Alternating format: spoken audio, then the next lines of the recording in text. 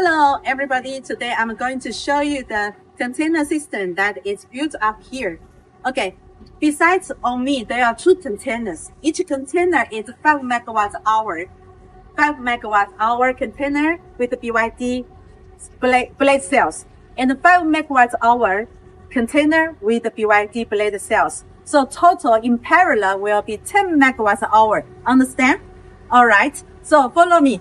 These two containers, 10 megawatt hour, will be connected with uh, this container, 20 feet container. So normally, when it, the project is up to 10 megawatt hour or 5 megawatt hour or 100, 200 megawatt hour system, then we will build all the BSS, the battery DC site in the container, in the separate container. The PCS will be uh, located in different container, all right? So in this case, the two containers are 10 megawatts hour, both together, okay?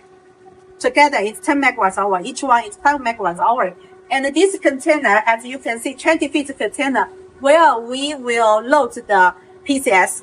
In this case, we have two units of 1.25 megawatts PCS in series in parallel, that means is 2.5 megawatts PCS together with the setup transformer. In this case, the transformer will set up to 10 kV. You know, mm. some, most of the clients coming to us and we will ask you, which high voltage platform that our BSS system will be connected with. It's just because we need to set up our PCS with the transformer, set up or set down transformer. Understand? So in this case, your real situation and tell us is very important, which we can, which we can set up the very good proposal for you. In this case, we got a one, uh, 2.5 setup transformer from 6.9 volt to 35 kV. All right. So in this case, very important. All right.